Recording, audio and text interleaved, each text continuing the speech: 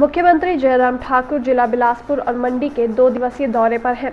जिला बिलासपुर के नमहोल में मुख्यमंत्री जयराम ठाकुर के पहुँचने पर उनका भव्य स्वागत किया गया, जिसके बाद मुख्यमंत्री ने नमहोल में एक विशाल जनसभा को संबोधित करते हुए कहा कि भाजपा अपने दृष्टिपत्र 2017 को राज्य सरकार के नीतिगत दस्तावेज़ में अपनाएगी।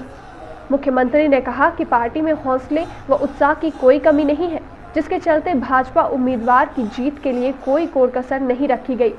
लेकिन ये समय की बात है कि नैना देवी विधानसभा क्षेत्र में भाजपा टिकट पर चुनाव लड़ने वाले रणधीर शर्मा विजय नहीं हो सके। जयराम ठाकुर ने कहा कि विधानसभा में इस बार रणधीर शर्मा की कमी खलेगी। बेशक रणधीर शर्मा चुनाव हार चुके हैं, लेकिन वो अभी भी भाजपा के स्तंभ माने जाते हैं।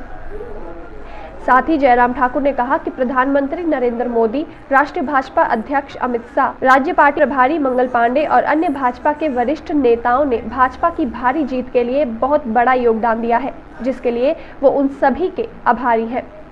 मुख्यमंत्री ने भरोसा दिलाया कि वर्तमान सरकार पारदर्शी एवं स्वच्छ प्रशासन व गरीबों का कल्याण सुनिश्चित करेगी। और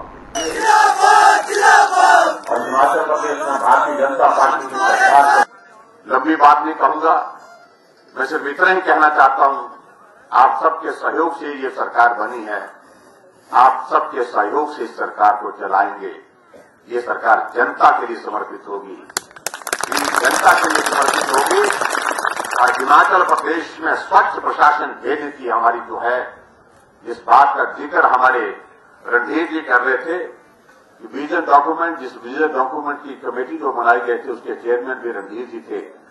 उसमें ज़िक्र इस बात का है। और हमारी पार्टी के राष्ट्रीय नेतृत्व का आग्रह इस बात के लिए कि हिमाचल ऐसा प्रदेश होना चाहिए आने वाले समय में, ऐसी सरकार हिमाचल प्रदेश में चलनी चाहिए जिस सरकार का ज़िक्र पूरे देश भर में हम कर सकते नया साल, और इसमें आप सबकी शुभकामनाएँ लेकर के मैं आगे इस पर